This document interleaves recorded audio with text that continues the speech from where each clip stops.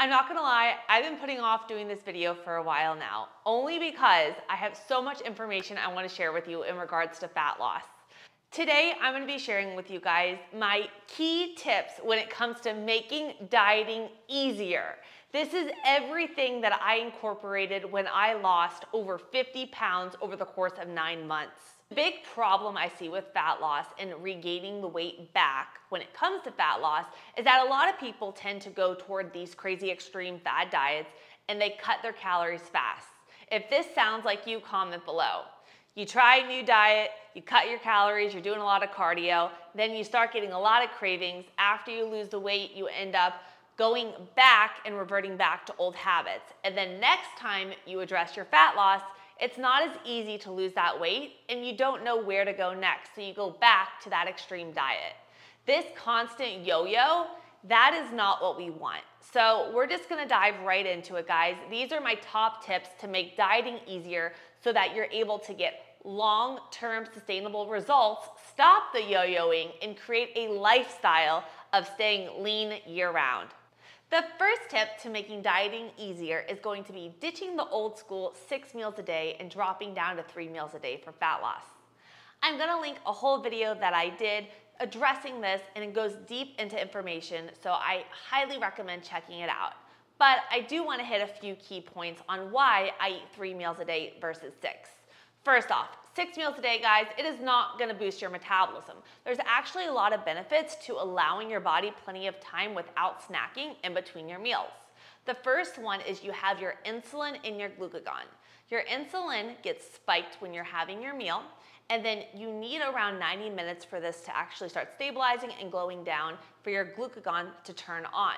That is your fat burner. So by giving your body plenty of time in between the meals, you allow for the insulin to go up, our fat burner glucagon to go down. Also, another key aspect is something called our migrating motor complex. This is your MMC pathway. And again, in order for it to run its full cycle, it comes on around 90 minutes after a meal and it lasts till around 240 minutes. So that basically, it sweeps out the bad bacteria in your gut and it acts to kind of help with your gut microbiome. Again, has a big effect on food cravings and so forth. The very last aspect that I wanna address is our mindset. A lot of people feel like they need to have six meals a day to have fat loss. It's gonna boost their metabolism. But sometimes what I've realized personally when I needed to make six meals a day and I needed to hit X amount of calories and macronutrients at each meal, I have work, I have life, I have so many things going on, and so do my clients. And it almost created food for thought on my mind all of the time and more stress and anxiety around food. This is supposed to be a lifestyle. So by cutting down to three meals a day, I was able to actually take the time to be present with my food, to have a whole food with all my micronutrients and macronutrients in it. And I wasn't constantly thinking, oh my God, I have to have my food here. I have to bring my food here. It's time to eat. It's time to this. So it created more of a sense of calm around food. So the first tip is dropping down from six meals a day and going to three meals a day for fat loss. And highly recommend checking out that video because I go deep into information for you guys. My second tip to making dieting easier is gonna be these two key macronutrients. So we wanna make sure that we are prioritizing number one, our protein, and number two, our fiber. And I'm gonna dive into why and the effects that it has on our body now and helping with fat loss. So first off, guys, protein is a major macronutrient helping with repair and rebuilding of your muscle fiber tissues. During different ages as we get older, if we're training harder, our body's need for protein, even especially on fat loss when you're in a caloric deficit, is very important. I'm gonna link a whole video that I did on how to find out your protein and calculate it based off of your age, activity level, and even if you're vegetarian or vegan above for you guys. But in simplicity, making sure you're getting enough protein in your diet helps with two major things.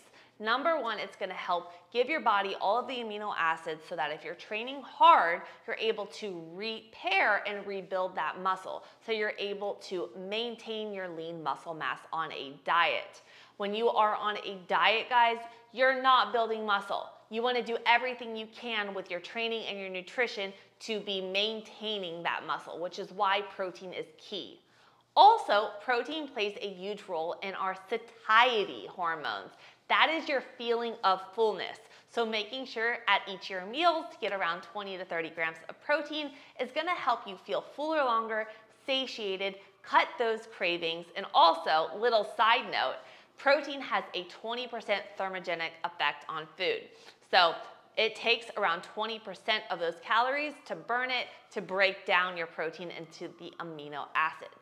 The second one we're addressing is our fiber. And so many clients come to me, I have them tracking their fiber and they're getting maybe five to 10 grams a day. The recommended dosage for a woman is around 20 to 25 grams a day and for males 30 to 35. Fiber, especially soluble fiber, helps feed that good gut microbiome and has a big role when it comes to your digestive process.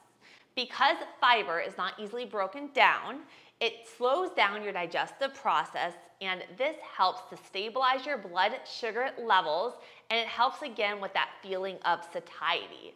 So by making sure you're getting your daily protein intake and hitting your daily fiber goals, which is 20 to 25 grams for my females and 30 to 35 for my males, it's gonna help with your hormones, that feeling of fullness after a meal, and even cravings.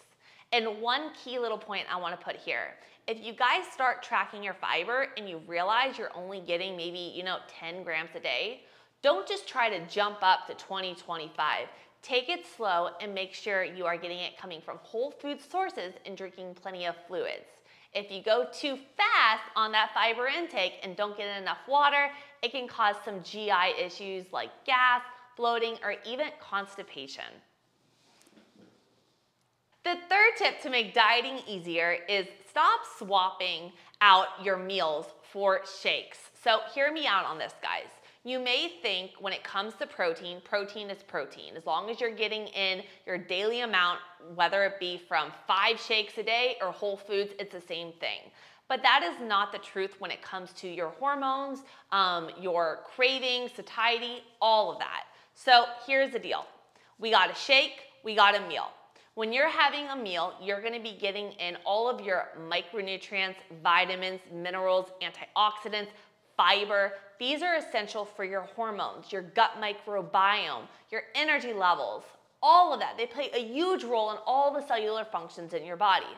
Now, if you are swapping those out for the easy protein shakes that have added vitamins and minerals to them that your body is not recognizing, okay? Then on top of that, they're void of your fiber. They don't have all of your micronutrients, the antioxidants in there.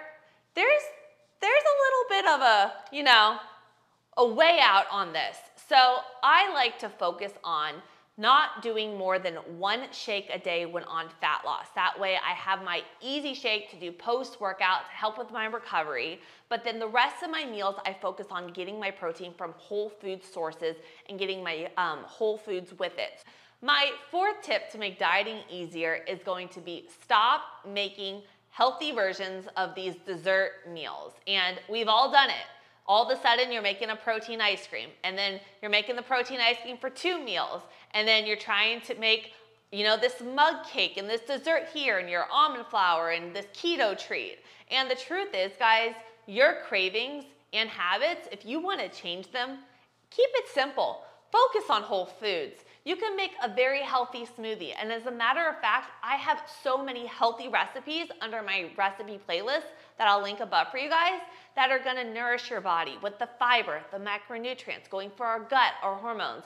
And these play a big role, again, guys, on cutting cravings, keeping you satisfied on a diet, and not making it feel like a diet, making it more feel like a balance in lifestyle but it does take time to reset and get rid of these cravings. So give it a month, give it two months, and just try different things out. My fifth tip to make dieting easier is going to be ditch the scale. So if you're the type of person that was like me, the scale would totally mess with my head. If that scale on fat loss, and a lot of my clients are the same way, if the scale goes up, they think they did something wrong. They think that they're not losing weight, they get more stress. If they're stressed out, they're gonna retain water, their digestive system's gonna be thrown off, and fat loss is not gonna be in the works. Let's just face it. When you're stressed out, that's not optimal for fat loss. By ditching the scale and focusing on instead progress pictures, waist measurements, how clothes are fitting, and even looking at things like, am I getting stronger in the gym?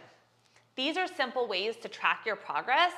And what I like to do is I do pictures around four weeks apart. So you may not see a difference from one week, but if you compare your four weeks um, versus your week one, then you could start seeing those changes if you are on that right caloric deficit. So if you're the type of person where the scale messes with your head, then ditch the scale, pictures, progress, um, do pictures, you can do waist measurements, and look at how your clothes are fitting, guys. And remember this, the scale can fluctuate on a daily basis, guys, based off of did you have more sodium? Did you eat close to bed last night? Did you have a refeed day with more carbohydrates?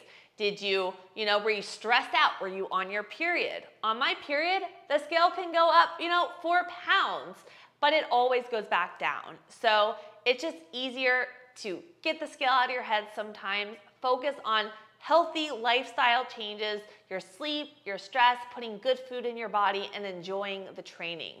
A whole thing I want you guys to remember when it comes to fat loss and getting long-term sustainable results, it's not about I need to cut my calories fast and go to an extreme diet.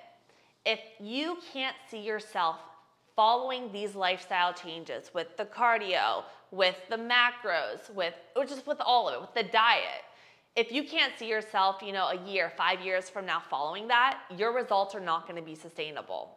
With my clients, what I like to do is I like to bridge the gaps. I don't just give them, okay, hit X amount of calories and do this training. I work with my clients with weekly check-ins. That way I look at things like our stress, our sleep, different things that come up each week so that I can make small adjustments so that over the course of maybe working for me three, six months, we're able to get our sleep on point, our stress levels down, change different habits throughout our day to kind of bridge the gap so you're able to have more time for you. And then trying to swap out different food ideas so that you're able to figure out what your triggers are when it comes to bloating and digestion. And when we bridge these gaps, people just start feeling better. And when you feel better, your like your brain feels better when your gut feels better. When you start seeing the results, you're more inclined to do better. And this is small changes and consistency in weight loss. So no extremes, guys. Don't think you need to lose five, six pounds a week when it comes to fat loss. Start slow, make small changes, and if you guys need help, I will put all my information below. I work with over 700 clients all around the world, and it's truly my passion of mine. And my whole motto is we have to make small changes so you guys can get sustainable results. Yo-yo dieting and start making lifestyle changes. I hope you guys found these tips helpful, and I hope you have a great day. Love you guys. Make sure to subscribe, and I will see you next week.